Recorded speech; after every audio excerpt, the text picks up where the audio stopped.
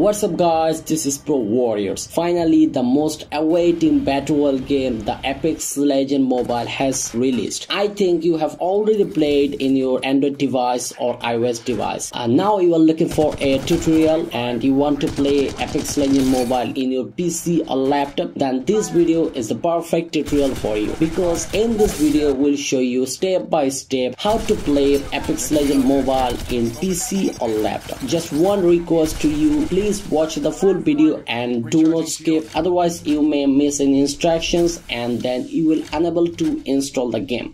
Please subscribe to our channel and don't forget to hit the bell button. Let's get started.